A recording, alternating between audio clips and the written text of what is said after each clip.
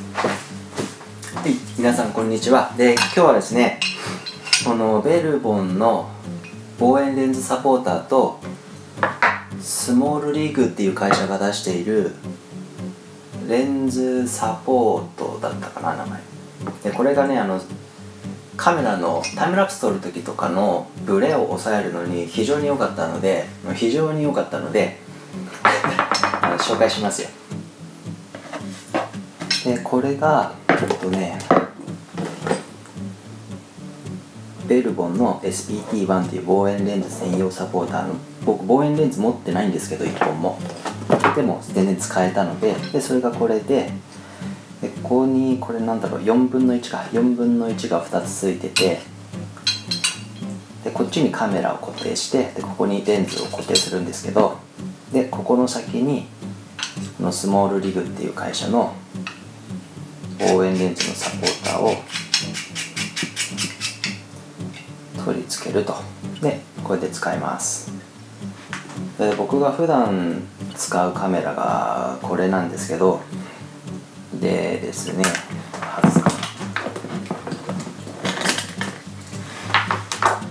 でこの何て言うんでしょうね。多分このこの状態だったらそんなにブレないと思うんですけどあの撮影星を撮る時はあのソニーからまだいいレンズないので出てませんのでは主にニコンのレンズを使うんですが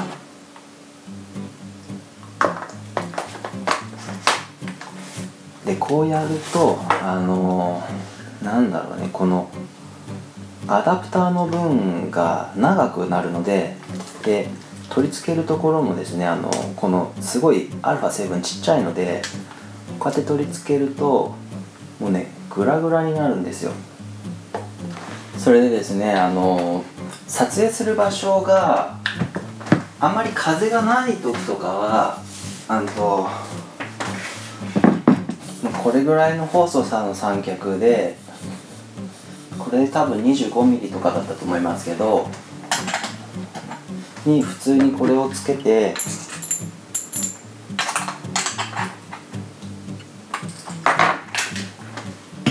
ここにセットして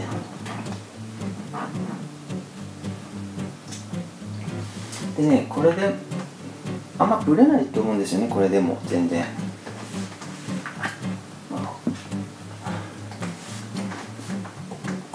うんまああ当たればブレるけど風ぐらいじゃちょっとした風ぐらいではね絶対ブレないと思うんですけどただこの前僕の6月ぐらいにハワイ島で撮った時にですねあの海沿いで撮ったんですけどすごい風強くってすごい本当に風が強くってその一晩ですねすごい星よく出てて天の川とかもねすごい見えてたんですけどブレブレになっちゃってでねもうボツになっちゃったのででも風が強いともうこれじゃ普通につけたらもうブレブレなんだなっていうのが分かったのでそれでですねこれを買ったんですけどそれでまずねこれを取り付けますね。どうやってやるんだっけ？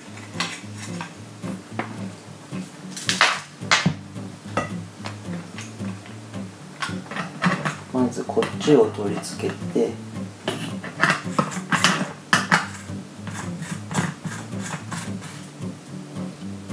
であとはここの長さを合わせてで僕大体ここにあの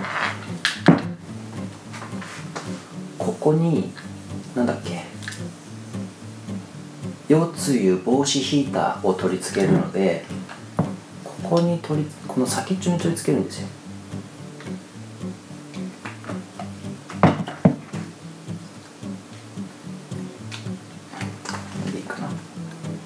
でここに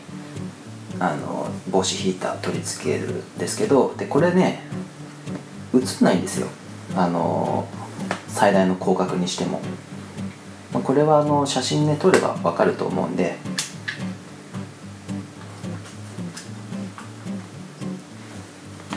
広角にしてもここ入らないのでこのサポーターの部分が。ね。まあこれを昼間のうちに確認しておくといいと思います。でこの状態で。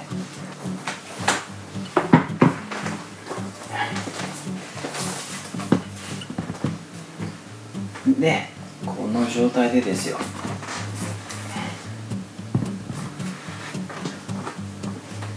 でここ全下全体があのアルカ水素のやつになってるのでそれ用のなんかか適当に買ってで締めると。そうするとねもうね全然全然ブレない。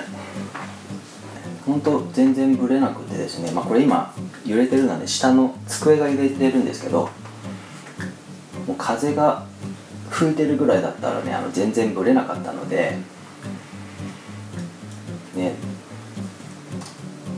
それで今度ですね時間があったら新月のあたりで晴れてる日に天の川はもう見えないんですけど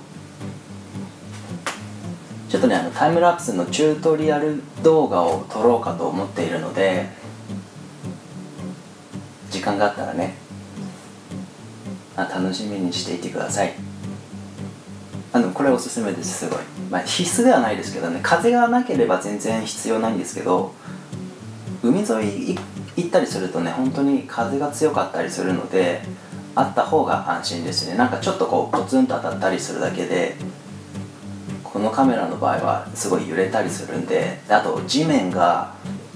柔らかい場合三脚の近く歩くとまあそれはまあこれついても揺れるんだけど。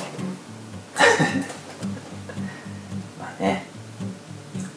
今日はそんなところです。